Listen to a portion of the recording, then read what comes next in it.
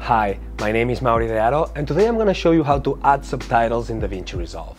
So the first thing you're going to do is go right here, right click and add subtitle track. After that, just right click, add subtitle. And as you can see, we have created a subtitle. You can extend the subtitle and make it exactly the length you want. In order to modify the subtitle, just click on the clip and go to Inspector. Here, you will be able to write the text. I'm just gonna write example 1.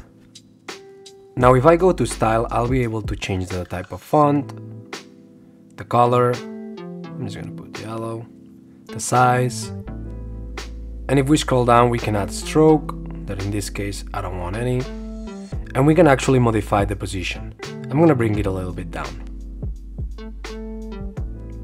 I'm gonna add some shadow, enable shadow, a bit more blur, and move it a little bit on the side. And in case you want, you can also add a background. In order to add more subtitles, just go exactly where you want the next subtitle to be, scroll up, caption, and press add new. Once you're happy with all your subtitles, just go into delivery, and if you scroll down, subtitle settings, in this section you'll be able to export the subtitles.